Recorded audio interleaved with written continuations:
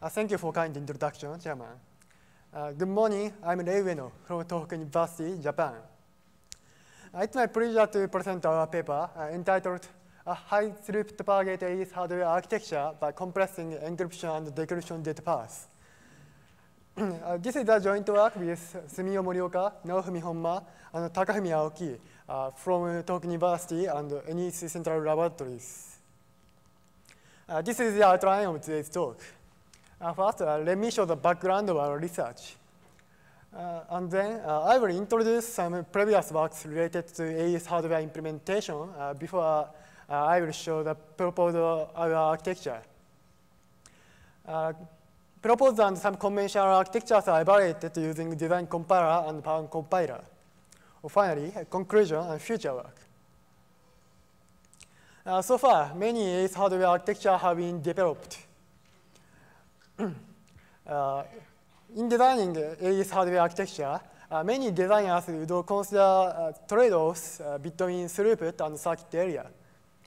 Uh, this figure, in this figure, horizontal axis corresponds to throughput, and vertical axis is circuit area. roughly speaking, uh, there are three types of implementation, uh, namely a round-based, byte serial, and unrolled architecture. So uh, many conventional architectures are also uh, classified as uh, shown in this figure. Uh, round-based architectures cent in center most standard and efficient architecture because this architecture uses inherent parallelism of AES. on the other hand, uh, byte serial and uh, unrolled architectures are used for especially uh, compact and low latency uh, applications. Uh, in other words, uh, we can obtain compact architecture by sharing resources of round, round-based data paths. And also, we can obtain low latency architecture by replicating data paths. So we can move on the diagonal dashed line. However, uh, for the cryptographic hardware design, uh, it's very important, uh, uh, high throughput per gate ratio is a very important feature uh, because hardware extension will lead to low energy encryption and reduction of chip fabrication cost. Uh, two major approaches to enhancing hardware efficiency are pipelining and data path optimization. In particular, uh, round-based and unrolled architectures uh, uh, can, can be easily pipelined. So many conventional architectures are used pipelining techniques. However, uh, is pipelining usually useful for practical applications? uh, for practical applications, uh, sorry, for practical applications, uh, block ciphers must not use the without mode of operations. Uh, in particular, uh, block chaining modes such as CBC, CMAC, and CCM are most widely used modes. For example, CBC is used for SSL-TLS, and uh, CCM is used for IEEE standard wireless LAN.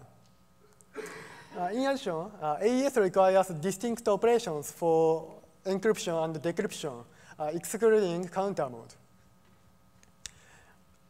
Uh, for, uh, for practical applications, uh, efficient CBC mode implementation supporting both encryption and decryption are highly demanded. Unfortunately, CBC mode implementation cannot be pipelined as a result of blockchaining. However, uh, many conventional architectures use the pipelining techniques. Uh, for example, uh, state-of-the-art hardware architecture with uh, 53 gigabps, uh, which is one of the most efficient, uh, uses four stages pipelining, and therefore this architecture works on only ECB or counter mode. Uh, for the CBC mode implementation, uh, higher throughput uh, is not equal to uh, is not usually equal to lower latency. Uh, thus, uh, it's desirable to investigate efficient AES hardware architecture without pipelining.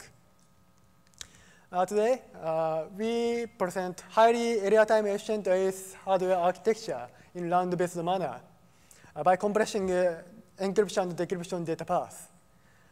Our architecture achieved the lowest latency uh, with tower field inversion. Because tower field inversion is the most efficient inversion circuit, uh, our architecture can perform uh, CBC mode encryption and decryption most efficiently.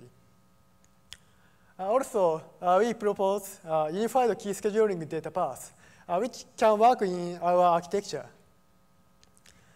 proposed and some conventional architectures are evaluated using logic synthesis with three CMOS technologies.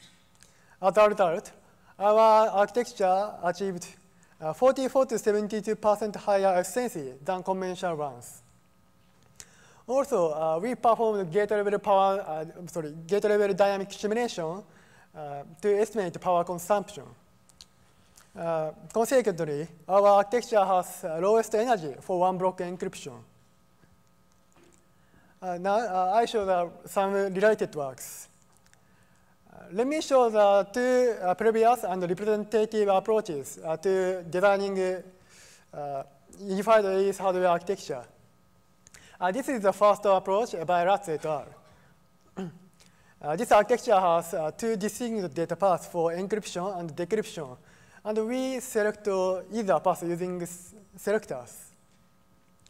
Uh, to design unified AES hardware architecture in efficient manner, uh, it's very important to unify resource-consuming components.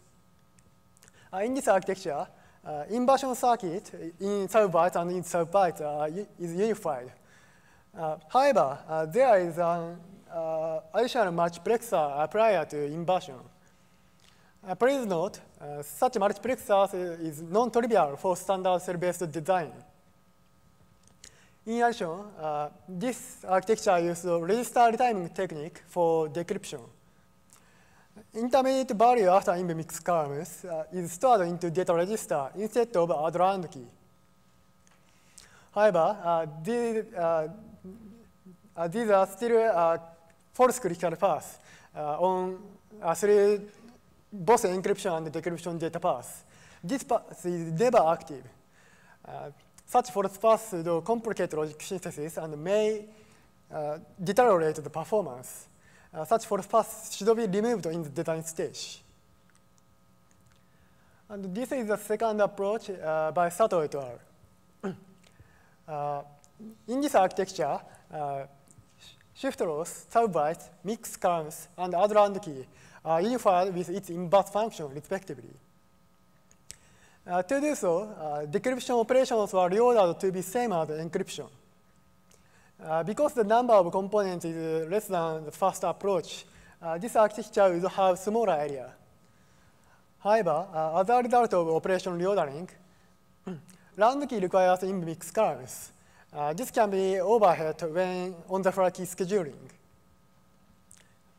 Uh, in addition, uh, some multiplexers is required in unified operations, in addition to path selector. For example, uh, left figure is uh, a typical unified uh, S-box, uh, which contains two multiplexers. Uh, to make matters worse, uh, in unified operations, encryption and decryption paths are connected in partially serial manner, which increases critical delay. Uh, to implement uh, inversion circuit in efficient manner, uh, we should use tower Starfield implementation. Tower field inversion circuit is more efficient than direct mapping, including table lookup. Uh, to use tower field inversion, uh, we require isomorphic mappings between encryption and, uh, sorry, between AES field and tower field. to do so, there are two types of tower field implementation.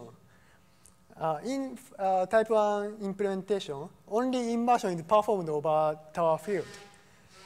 Uh, the main drawback of this approach is uh, mappings are performed in every round. Uh, this means uh, mappings is rise uh, on critical path, uh, which increases uh, critical delay. On the other hand, type 2 uh, all operations are performed over tower field. Um, isomorphic mappings are performed only once at the data input and output, uh, isometric mappings can be removed from critical path. Uh, therefore, uh, type 2 implementation would have lower latency than type 1. However, uh, tower field mix columns and in mix columns would require more XOR gates uh, uh, because uh, these operations were designed for AES field. Now I show the proposed architecture. this is the proposed overall architecture consisting of round function part and key scheduling part. Uh, first, uh, I show the design of round function part. Round function part performs uh, reordered one round operation per clock, and pre and post round operations uh, uh, at data input and output. Uh, because we used type 2 tower field implementation, pre and post round data paths mainly perform isometric mappings. Uh, to compress encryption and decryption data paths, uh, we used uh, we propose new register retiming and operation reordering. Uh, we, uh, as a result, uh, we unified the inversion circuits without any additional selectors. that is overhead. So consequently, our, our architecture has only one four-in-one multiplexer, while other conventional architectures use at least three multiplexers.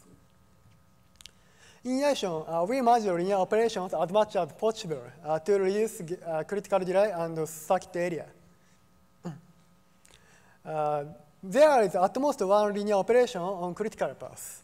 While uh, conventional architecture require more than two operations. Uh, we use tower two field uh, implementation and therefore isometric mappings uh, are performed at data input and output. Uh, however, uh, as a result of uh, merging techniques, our architecture can perform tower field affine transformation and mix columns with smaller area. This is a, a proposed restart timing and operation reordering. Our left figure is encryption flow and the right figure is decryption flow. Uh, in each figure, uh, left is original flow and the right is resulting flow.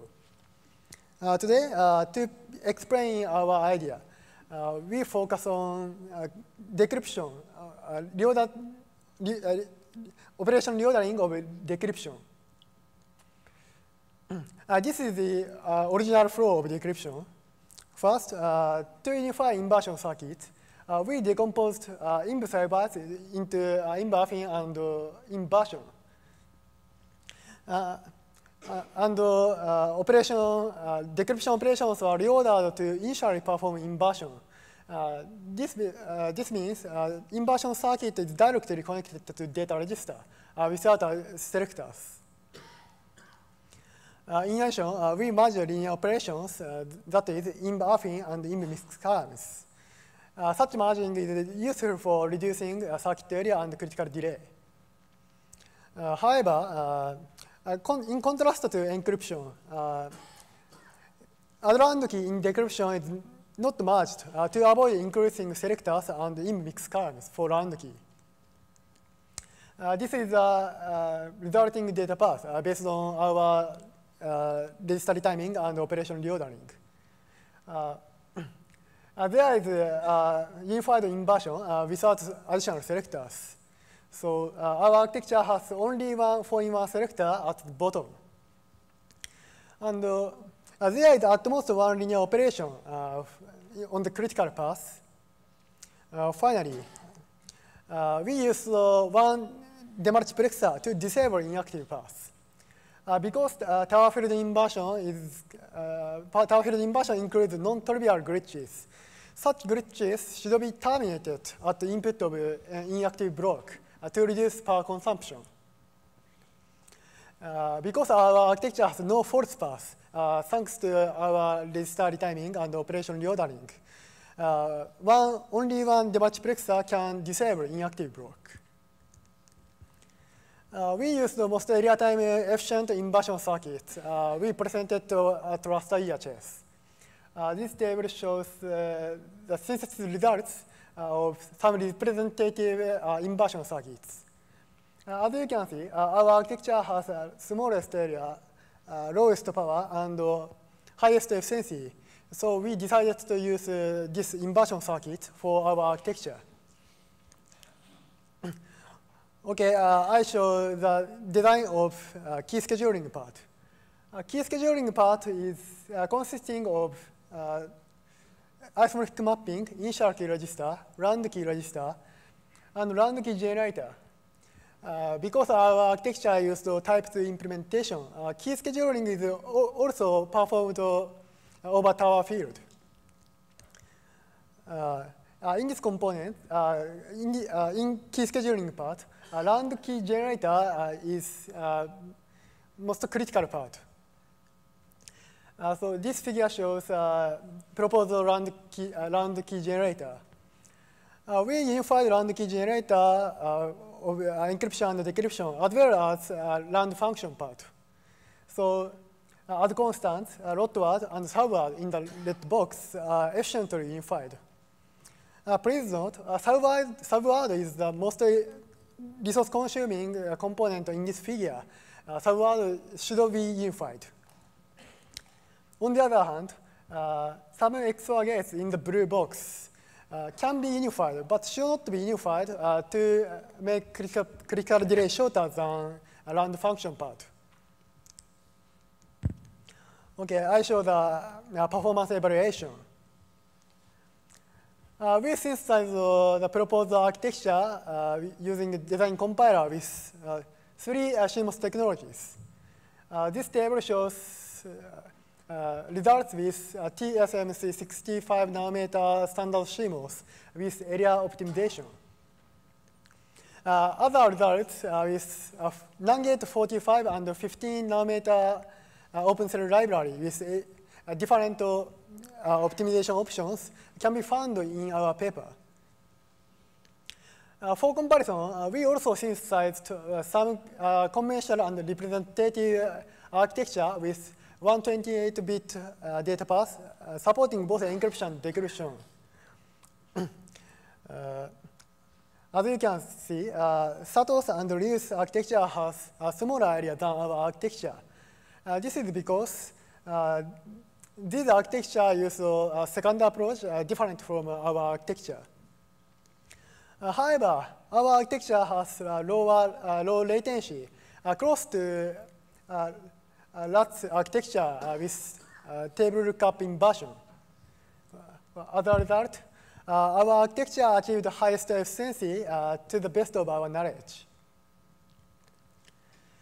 Uh, in addition, uh, we performed gate-level dynamic simulation uh, to estimate power consumption of this architecture.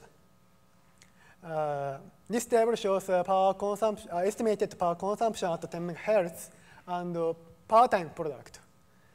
Uh, here, uh, time uh, indicates latency for one block encryption.